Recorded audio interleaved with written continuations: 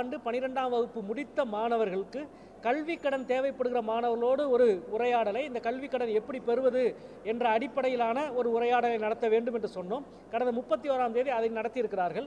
ஏறக்குறைய பத்தாயிரம் மாணவர்கள் ஒன்பதாயிரத்தி எண்ணூறு மாணவர்கள் அதில் பங்கெடுத்து பங்கெடுத்திருக்கிறார்கள். நம்முடைய மாவட்டத்தில் இந்த ஆண்டு வந்து பன்னிரெண்டாம் வகுப்பு முடி முடித்தவர்கள் சுமார் முப்பத்தி எட்டாயிரம் பேர். அதில் உயர்கல்விக்கு போகிறவருடைய எண்ணிக்கை ஐம்பத்தைந்து சதவீதம் என்றாலும் ஒரு இருபதாயிரம் பேர் வந்து உயர்கல்விக்கு கல்லூரிக்கு போக போகிறார்கள்.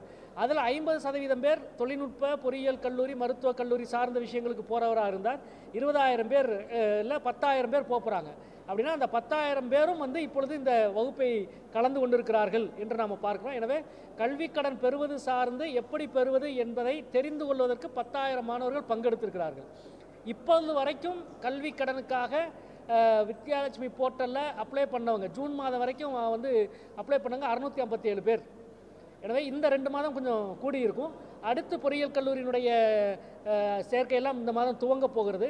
இதெல்லாம் வந்து சேர்கிற பொழுது நிச்சயமாக இந்த பத்தாயிரம் பேர் அணுகினால் கூடுமானவரை எவ்வளவு அதிகமான பேருக்கு கொடுக்க முடியுமோ அவ்வளோ அதிகமான பேருக்கு கல்வி கடனை பெற்றுத் தருவதற்கு பள்ளி கல்லூரியின் சார்பில் முக்கியத்துவம் கொடுக்கணும். இப்போ என்ன முடிவு பண்ணியிருக்கோம்னா வரப்போகிற அட்மிஷன் நடக்க போகிறதுக்கு எல்லா கல்லூரிகளிலும் ஒரு கல்வி கடனை எப்படி பெறுவது என்பதற்கான விளம்பர பலகையை கல்லூரி நிர்வாகம் வைக்க வேண்டும். வங்கிகளும் அதில் வைக்க வேண்டும் என்று இப்பொழுது ஆலோசனை வழங்கப்பட்டிருக்கு. வங்கியின் சார்பாக ஹவுசிங் லோனுக்கு விளம்பரம் பண்ணுறாங்க அல்லது வந்து கார் லோனுக்கு விளம்பரம் பண்ணுவதைப் போல வங்கி கடனை பெறுவதற்கான ஒரு விளம்பரத்தை வங்கியின் சார்பாக முன்வைக்க வேண்டும் என்று நம்ம சொல்லியிருக்கிறோம்.